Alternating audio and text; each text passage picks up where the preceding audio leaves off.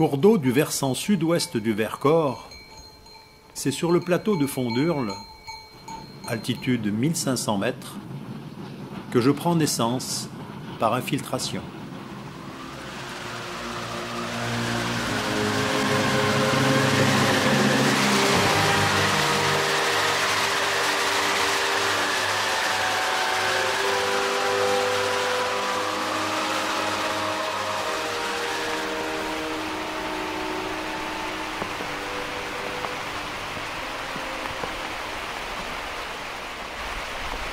Évoluant sous terre, je vois le jour une première fois en sortant de la grotte du Brudour, située à mi-chemin entre le plateau de Fondurle et le plateau de Lens.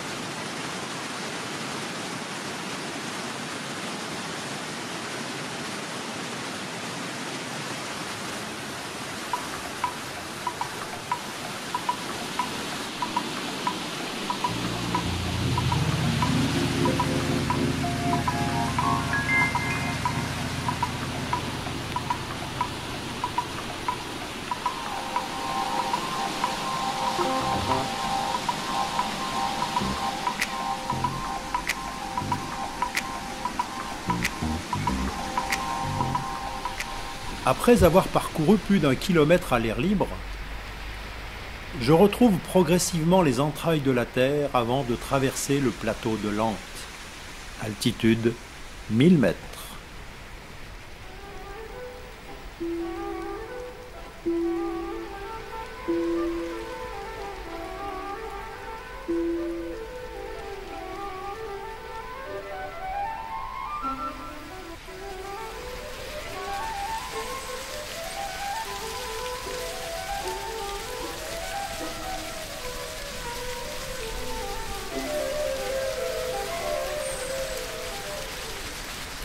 Il arrive, lors de précipitations importantes, que je traverse en surface une bonne partie de la plaine de Lente avant de m'engouffrer sous terre au niveau du chalet de Beauvallon.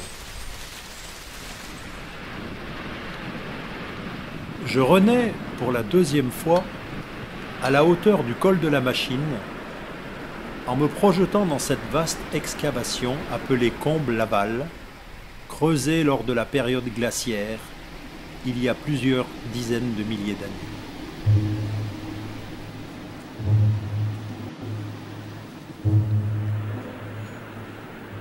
Je progresse dans le fond de cette combe en accumulant les résurgences qui s'écoulent de ses flancs.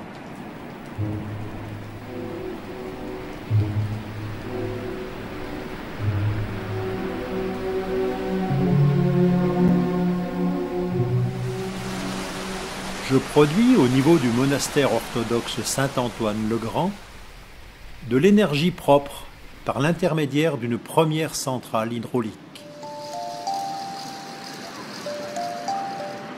Convaincu sans hésitation que ma naissance se situe bien dans les entrailles du plateau de Fondurle, je dois préciser qu'officiellement, je ne porte le nom de Cholet qu'à partir de mon arrivée dans Comble-Laval. En amont, on m'a affublé du nom de ruisseau du Brudour. Quelques centaines de mètres plus loin, je subis un prélèvement afin d'alimenter la deuxième centrale située à la sortie de cette combe.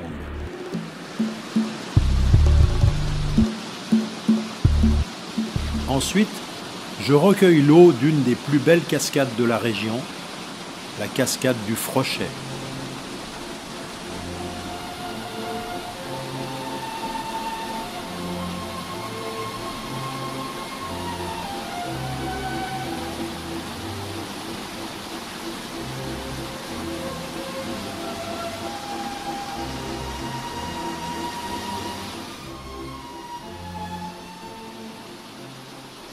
Après être passé sous le pont des Chartreux et côtoyé la deuxième centrale, je pénètre dans l'enclave du Royan en passant sous le pont du tram.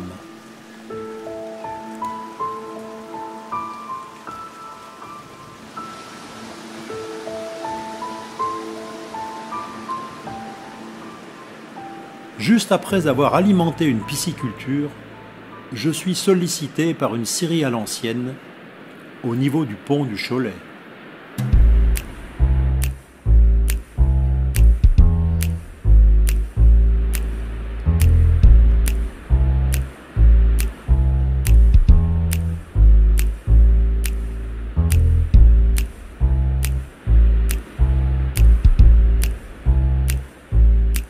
Quelques centaines de mètres avant de disparaître, je donne mon nom à un agréable domaine qui propose des chambres d'hôtes.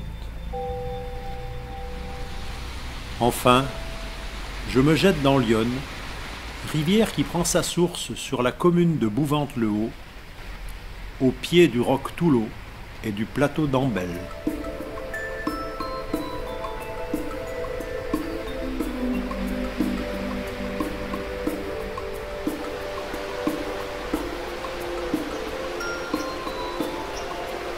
Cette dernière se jette à son tour dans la Bourne, rivière qui prend sa source à Lens-en-Vercors, et qui, après avoir emprunté les fameuses gorges du même nom, recueille à Pont-en-Royant la Vernaison, en provenance du versant nord du col du Rousset. Celle-ci descend du Vercors par les Goulets et contribue elle aussi à la fourniture d'énergie propre juste avant de se mélanger avec la bourne.